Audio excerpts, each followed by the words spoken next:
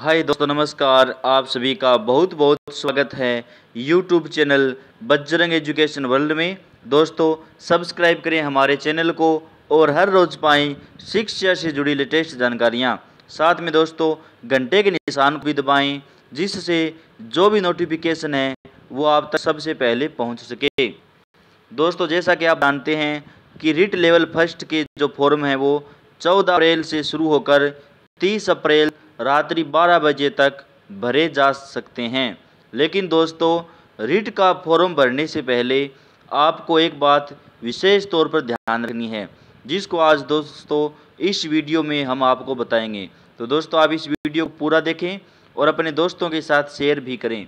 दोस्तों, रिट का form apply करने से पहले एक बार यह वीडियो ज़रूर देखें। दोस्तों बहुत से दोस्तों के कमेंट के बाद हमने यह वीडियो तैयार किया है। राजस्थान के ऐसे दस ज़िले जो डार्क जोन में आते हैं। दोस्तों, डार्क जोन का मतलब है, राजस्थान के उन दस ज़िलों में यदि कोई टीचर लग जाता है तो वहाँ से उसका तबादला होना बहुत ही मुश्किल दोस्तों, मुश्किल नहीं कह सकते दोस्तों, असंभव सा कार्य है। यानी उन दस ज़िलों में से यदि हम अपने ज़िले में या किसी दूसरे ज़िलों में अपना तबादला कराना चाहते हैं तो वहाँ से हमारा तबादला नहीं हो पाता है दोस्तों। तो राजस्थान के ऐसे दस ज़िले हैं दोस्तों, जिन्हें डार्क जोन कहा जाता है, यानी प्रतिबंधित ज़िले कहा जाता है। तो दोस्तों, यदि आप उन ज़िलों में फॉर्म अप्लाई कर देते हैं तो आपको दोस्तों आगे चलकर परेशानी हो सकती है। इसलिए दोस्तों, हमने आपके लिए यह वीडियो बनाया है कि राजस्थान के दस ऐसे ज़िले कौन से हैं जो डार्क जोन में आते हैं।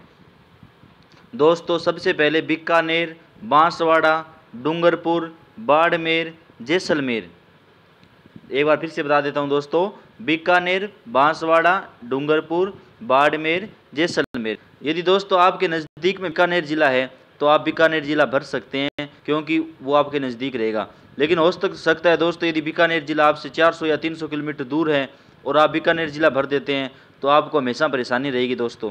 इसलिए दोस्तों मैं आपको बार बार बता रहा हूँ कि यदि ये दस ज़िले आपके नज़दीक होते हैं तो आप इन दस ज़िलों में आराम से फॉर्म अप्लाई कीजिए। मैं आपसे ये नहीं कह रहा हूँ दोस्तों कि आप इन ज़िलों में फॉर्म अप्लाई मत कीजिए।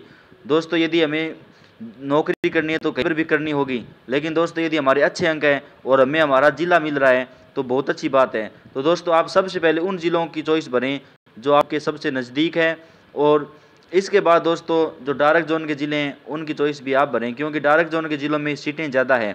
तो दोस्तों, डायरेक्ट जोन के सबसे पहले पाँच ज़िले हैं, बीकानेर, बांसवाड़ा, डूंगरपुर, बाड़मेर और जैसलमेर। इसके बाद बारह, जालौर, सिरोही, झालावाड़ और प्रतापगढ़। ये दस ज़िले हैं दोस्तों, जो डार्क जोन में आते हैं। एक बार फिर से बता देता हूँ, बारह, जालौर, सिरोही, झालावाड़ और प्रतापगढ़। दोस्तों, मैं आपको फॉर्म इन जिलों में नए भरने के लिए नहीं कह रहा हूँ। एक बार फिर से बता देता हूँ, दोस्तों, मेरे कहने का मतलब सिर्फ़ इतना है, जैसे यदि आपका ज़िला हनुमानगढ़ है और यदि आपके अच्छे अंक हैं तो आप पहली चॉइस में हनुमानगढ़ भरिए। इसके बाद जो आपके नज़दीक ज़िले हैं वो भरिए। यदि दोस्तों आपने पहली चॉइस बाड़मेर भर दी और आपका वहीं पे यदि दोस्तों पोस्टिंग आ गई तो आपको पूरे जीवन बाड़मेर में ही अपनी नौकरी करनी पड़ेगी। इसलिए दोस्तों यदि आपके अच्छे अंक हैं और आप अपने आसपास के ज़िलों को सबसे पहले भरें। हो सकता है दोस्तों ये डार्क जोन के दो, जो दस ज़िले हैं, वो भी आपके नज़दीक में हो तो आप उन ज़िलों में भी फॉर्म अप्लाई कर सकते हैं। तो दोस्तों हमने आपके कमेंट पर यह वीडियो बनाया है कि डार्क जोन वाले दस ज़िले कौन कौन से हैं।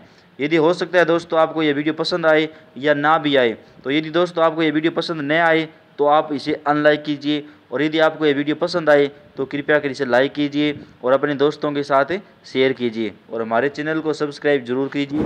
धन्यवाद दोस्तों। जय हिंद, जय भारत।